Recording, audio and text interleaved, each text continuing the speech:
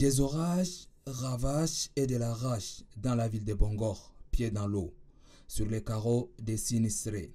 Et face à cette situation, le gouvernement n'est plus pas les Chines.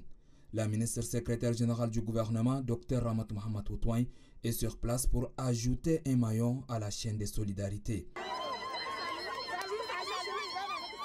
La ministre fille de la province n'est pas venue les mains vides. Avec elle, des sacs de riz, des farines, des pâtes alimentaires et des tentes, entre autres. Un acte de réconfort. Nous sommes venus apporter notre soutien.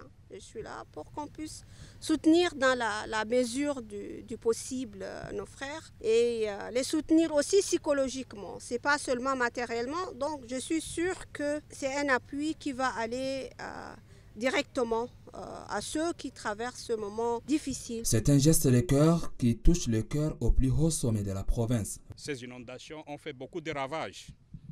Des champs inondés, des maisons écroulées, et donc la nourriture et les abris, c'est des matériels indiqués pour pareilles circonstances. De Bongor, la ministre Dr Ramat Mohamed Houtouin atterrit à Fianga, qui partage aussi la même douleur liée aux inondations mais apaisé à son arrivée.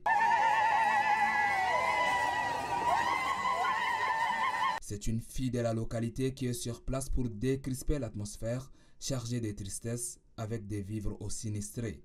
Au total, six cantons et la ville de Fianga. Nous allons travailler pour amener le sourire. Parce que le mont Ili, je sais que vous êtes un peuple gai. Et aujourd'hui, nous sentons la tristesse sur le visage. Ça veut dire que c'est difficile. Nous le sentons et nous le comprenons. Le gouvernement le sait et le sent, raison pour laquelle je suis là avec vous aujourd'hui. Cet acte de générosité qui vaut tout son pesant d'or rayonne les visages des bénéficiaires. Nous sommes ravis de vous voir aujourd'hui parmi nous.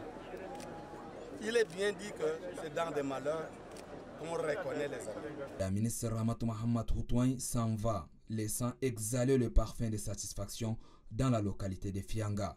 C'est la joie aujourd'hui et même les ciels nuageux ne grisent pas les mines.